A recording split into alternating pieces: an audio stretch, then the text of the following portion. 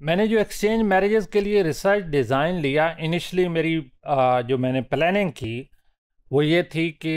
आ, मैं अपने gate keepers के थ्रू वहाँ पे जाऊँगा और जाके अंडरस्टैंड करूँगा कि how the things are as the way they are there लेकिन उससे पहले मैंने सोचा कि मैं इसके लिए ग्राउंडेड थ्योरी मेथड यूज़ करूँ या इन डेप्थ के स्टडीज़ करूँ या इसके लिए फोकस ग्रुप डिस्कशन ज़्यादा अप्रोप्रिएट हैं। तो जो रिसर्च की प्लानिंग की उसके अंदर मैंने ये सारी चीज़ें डाल दी जिसमें एक्सपर्ट इंटरव्यूज़ थे हर चीज़ को। ये आगे अगली स्लाइड में आपको डायग्राम में ये सारी चीज़ें नज़र आ जाएँगी। लेकिन जब मैं फ़ील्ड वर्क में गया यानी ये मैंने हर चीज़ प्लान की हुई थी तो फ़ील्ड वर्क के अंदर जाके आपके प्लान्स चेंज हो सकते हैं रेडिकली चेंज हो सकते हैं आ, बिल्कुल डिफरेंट हो सकते हैं but giving overall situation for example मैं जब वहाँ कबीर वाला में कम्युनिटी में आ, गया तो मैंने रियलाइज़ किया कि वहाँ मैं मेल से तो बात कर सकता हूँ तो फीमेल से नहीं कर सकता। और अगर मैं सिर्फ़ मेल का पर्सपेक्टिव ले आऊँगा तो वेस्टर्न एकेडमिक्स जो हैं वो तो मेरी बात को नहीं मानेंगे। वो तो कहेंगे यार ये आप जो कुछ भी करके आए हैं ये तो सिंगल साइड स्टोरी है। यहाँ तो फीमेल्स हैं ही नहीं। तो मैंने पहली दफ़ा जब फ़ील्ड वर्क में गया तो मैंने ये रियलाइज़ किया। उसको ओवरकम करने के लिए मेरी एक कॉलीग जो थी डॉक्टर आबदा शरीफ, जो कि इस वक्त फातमा जनाब विमेन यूनिवर्सिटी में पढ़ा रही हैं, वो मेरी क्लास फेलो भी हैं और मेरे क्लास फेलो की वाइफ भी हैं तो डबल हमारा बॉन्ड है उनके साथ। तो उन्होंने she was very kind enough तो उन्होंने कहा कि जी मैं आपके साथ कंपनी करती हूँ। And meanwhile doctor Imran, जो कि उनके हस्बैंड हैं, उन्होंने भी कहा। तो हम तीन लोग फिर फ़ील्ड वर्क में गए। हमने वहाँ कम्युनिटी में जाके रहने के लिए एक छोटा सा रूम क्यों, ये भी एक इंटरेस्टिंग स्टोरी है we wanted to live there तो उन्होंने कहा, जी, यहाँ तो कोई रूम भी रेंट पे नहीं देता, आपको हमारे साथ ही रहना होगा। तो हमने कहा, जी, ठीक है, लेकिन हमें अलग से कोई अगर रूम किसी तरह मिल जाए, ताकि हम आपस में शाम में बैठ के notes exchange as a research team कर सकें, क्योंकि लोगों के सामने तो आप ये कर नहीं सकते। अगर करेंगे तो उनकी प्राइवेसी डिस्टर्ब होती है they would be conscious they would be afraid of it तो वो ज़रा हमारे लिए पहला चैलेंज था। लेकिन हमारी रिक्वेस्ट पे कम्युनिटी के लोगों ने दे वर वेरी काइंड कि उन्होंने कहा कि जनाब हम आपको एक बैठक है आप उसके अंदर बेशक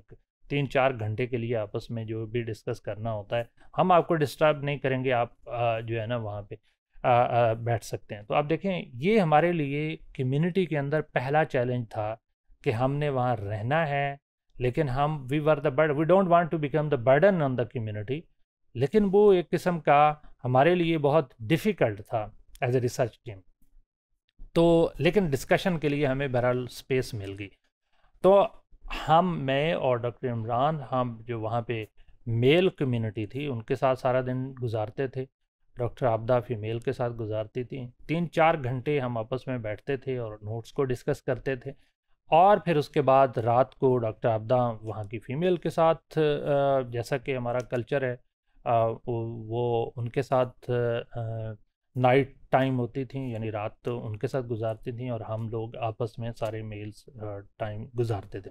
हमने महसूस किया कि जो हम इंटरव्यूज़ ले रहे हैं, एक्चुअली तो उसमें इंडिविजुअल वो जिनकी एक्सचेंज मैरिज हुई हुई थी, हम उनके लेना चाह रहे थे, लेकिन हकीकत में हमें पता चला कि वो तो पावरलेस थे। असल पावरफुल तो उनके ग्रैंड पेरेंट्स थे तो हमने उनकी ग्रैंड पेरेंट्स से लिया। लेकिन साथ में हमें ये भी अंदाज़ा हुआ मुझे कि ये जो इंटरव्यूज़ हैं, अगर हम उन ओरिजिनल एक्टर्स को जिनकी शादी एक्सचेंज मैरिज पे हुई है या होनी है, उनसे भी तो पूछें तो हमने थ्री जनरेशन का एनालिसिस किया, जिसमें से ग्रैंड पेरेंट्स जिन्होंने उनकी शादियाँ अरेंज की, फिर पेरेंट्स थे वालदेन, और फिर वो लोग जिनकी शादियाँ एक्सचेंज मैरिजेस पे हुई या होने वाली थी तो हमने उस तरह के कपल लिए। टोटल एक फैमिली को, यानी छः सात लोगों की बेस इंटरव्यूज़ की बेस पे जो एक केस स्टडी बनती थी तो हमने ट्वेंटी फोर केस स्टडीज़ ली। मिसाल के तौर पे, दादा, दादी या नाना, नानी, या दोनों प्लस उनके वालदेन, फिर प्लस वो कपल्स एंड उनके ऑफस्प्रिंग ये छः से सात सात लोग तो तकरीबन हमने सिक्सटी, सेवेंटी लोगों का ऑन एवरेज क्योंकि हर जगह पे ये सारा कंपोजिशन ये सेट नहीं अवेलेबल था कि ग्रैंड पेरेंट्स भी हों, बच्चे भी हों, कहीं पे डेथ हो जाती है या कोई और भी माइग्रेशन है, कहीं और पे लोग सेटल हैं। अवेलेबिलिटी ऑफ़ टाइम नहीं है। तो अल्टीमेटली हमने 24 के स्टडीज़ ली। और हमने सोचा कि यहाँ पे फोकस ग्रुप डिस्कशंस भी कर लें, क्योंकि लोग ओपन अप नहीं हो रहे थे, ना कोई इंडिविजुअल के स्टडीज़ में, क्योंकि हमारे लिए बड़ा, सबसे बड़ा चैलेंज ये था कि प्राइवेसी का कॉन्सेप्ट ही नहीं था। आपने जिसके सामने भी लेना है, उसकी वाइफ भी वहीं है, खुद भी वहीं है, बच्चे भी वहीं हैं तो आप कैसे इंटरव्यू ले सकते हैं? प्राइवेट टाइम निकालना दैट वाज अनदर तो हमने सोचा कि एक बड़ा, एक एक्सप्रेशन लेने के लिए let's have a kind of focus group discussion कि यंग लोगों के साथ अलग कर लेते हैं, बड़ों के साथ अलग कर लेते हैं और जो छोटे हैं उनके साथ अलग कर लेते हैं। जब ने हम, हमने ये किया तो we are successful conducting interviews with females young female girls but we are unable to arrange the parents और grandparents we are also unable to have a young males क्योंकि they were not open to give the interviews तो वो और फिर साथ में हमने lawyer से भी डिस्कशन की जो कि अदालतों के अंदर एक्सचेंज मैरिजेस के झगड़ों के जो केसेस आते थे उनको डील कर रहे थे। साथ में कुछ हमने एक्सपर्ट इंटरव्यूज़ किए, जैसे एन के लोग होते हैं या इमाम मस्जिद हैं या वहाँ के जो प्रोमिनेंट पर्सनैलिटीज़ थी या वो लोग जिनकी इन इशूज़ जैसे एक या दो जजेस को हमने इंटरव्यू किया जो कि इन केसेस को डील कर रहे थे। हम इस नतीजे पे पहुँचे कि ये ओवरऑल सिर्फ़ ग्राउंडेड थीरी मेथड से ही हम ये इंटरव्यूज़ कंडक्ट कर सकते हैं मसलन हमने कॉन्सेप्ट ऑफ़ एक्सचेंज मैरिजेस एक फैमिली से एक फैमिली एल्डर से पूछा, यानी ग्रैंड पेरेंट उस वक्त वो पेरेंट थे, उनसे पूछा तो उन्होंने कहा कि दिस दिस स्टोरी तो वो उन्होंने कहानी हमें बताई, उसको लेकर हम फिर दूसरी फैमिली के पास गए, फिर तीसरी के पास तो इस तरह से हमारे पास जो ये overall concept of exchange marriages develop होना शुरू हुआ। ये जो ओवरऑल मेथडोलॉजिकल फ्रेमवर्क था जो हमने जहन में रखा वाइल कंडक्टिंग इंटरव्यूज़ और फिर और उसके एनालिसिस के लिए। पहले इंडिविजुअल केस हिस्ट्रीज हमने ली, उससे केस डेवलप हुए और फिर उसकी बेस के ऊपर हमने जो है वो फोकस ग्रुप डिस्कशंस की, जिससे हमारे सामने कॉन्सेप्ट्स आए और हम कॉन्सेप्ट्स की वेरिफिकेशन आई। फिर उसके बाद तीसरे लेवल पे हमने एक्सपर्ट इंटरव्यूज़ लिए जो एक्सचेंज मैरिजेस पे थे। साथ में हमने मूवीज़ देखी वेडिंग सेरेमनीज़ के ऊपर so that we can have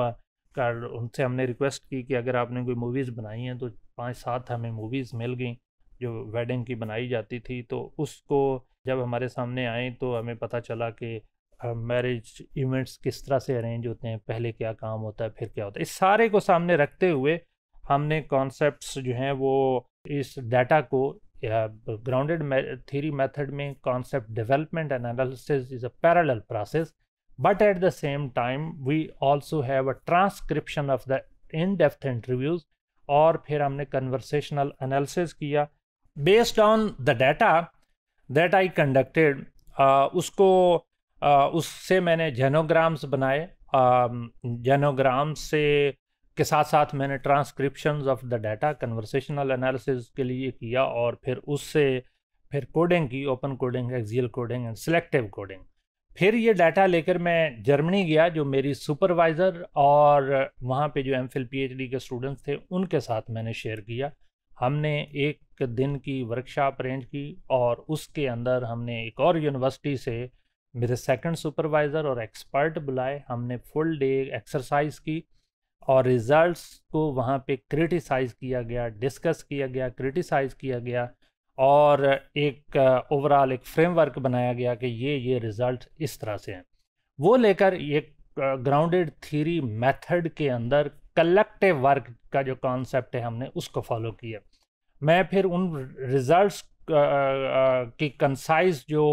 results थे, यानी एक प्रिसाइज फॉर्म में, वो लेकर वापस दोबारा फ़ील्ड वर्क में कम्युनिटी में गया और वहाँ जाके कम्युनिटी के साथ रिज़ल्ट डिस्कस किए कि क्या आपकी इस कॉन्सेप्ट से मुराद ये है ये है ये है